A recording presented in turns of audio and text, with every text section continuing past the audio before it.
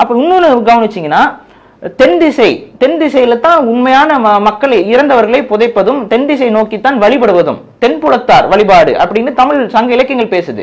அவை அனைத்துமே தென்புலத்தில் ஒரு மாபெரும் அழிவு ஏற்பட்டதை குறிப்ப குறிக்கக்கூடிய ஒரு வரலாற்று சுவடுகள் தான். இந்த தென்புலத்தார் என்பதுதான் டெம்பிள் டெம்பிள் அப்படிங்கிற அந்த ஆங்கில வார்த்தையே தென்புல்.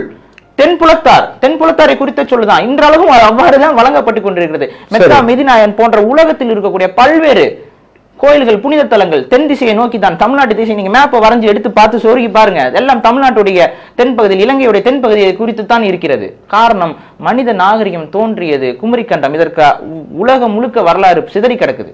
அப்ப அதில் எஞ்சிய மிஞ்சிய குடிகள் தான் நாம. அதிலிருந்து சிறிதறி ஓடியவர்கள் தான் நீங்க சொல்ற இந்த வரலாற்றை யுனெஸ்கோ போன்ற அமைப்புகள் நமக்கு அங்கீகாரம் கொடுக்கின்றனவா இல்லையா? இல்ல இப்ப நான் என்ன சொல்ல வரேன்னா இந்த இந்த மரபு சார்ந்த வரலாற்றை திட்டமிட்டு இந்தியாவில் நடக்கக்கூடிய ஒரு சில அரசியல் சார்ந்த காரணத்துக்காக மறைக்கிறாங்க. இப்ப நான் சொன்னேன் பாத்தீங்களா இந்த மூன்றரை லட்சம் ஆண்டுகளுக்கு முன்பாக மனிதன். வாழ்ந்தான் இது வந்து தமிழ்நாட்டு செய்தி ஊடகங்களிலேயே இந்த தகவல் பரப்பப்பட்டது. ஆனால் என்னமோ தெரியவில்லை அது மீண்டும் பேசப்படவில்லை. அது வந்த வேகத்தில் மறைந்து விட்டது அப்- அப்படின்னா என்னன்னா அதை வந்து தக்க வைக்கவில்லை. அந்த வரலாற்று பெருமையை ஒட்டுமொத்த தமிழர்களும் புரியும் வண்ணம் சொல்லி எடுத்து சொல்றதுக்கு ஆள் இல்லை. அப்ப இங்க புரியணும் வரலாறு என்பது மறைக்கப்படுகிறது. நம்மளும் தரவுகள் இருக்கிறது.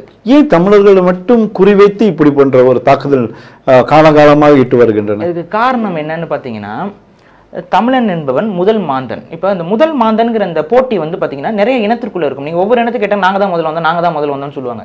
அதற்கான அடிப்படை காரணம் என்னன்னு பார்த்தீங்கன்னா உலக அளவிலேயே ஒரு புரிதல் உண்டு. இந்த முதல் மாதனிடம்தான் மனிதன் எவ் மனிதனுடைய ஆரம்ப காலகட்ட பழக்க வழக்கங்கள் எவ்வாறு இருந்தது? அவனுடைய சிந்தனை எவ்வாறு இருந்தது? அவனுடைய மாண்புகள் எவ்வாறு இருந்ததுங்கிறத ஆய்வு செய்ய முடியும். அவனுடைய பழக்க வழக்கம் என்பதுதான் ஒட்டுமொத்த மனித இனத்தை கட்டி போடக்கூடிய ஒரு பழக்க வழக்கமாக இருக்க முடியும்.